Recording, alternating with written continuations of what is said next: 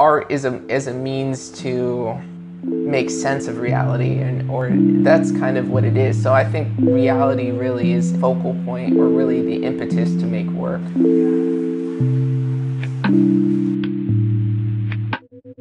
I think that was the challenge in trying to make something that resembled my work. It was in the spirit of my work and was addressing the same subjects and themes as my work. Another thing is just i tend to be a two-dimensional artist Hey. Okay, no, that I know that's not, but it's cute. You can walk through it.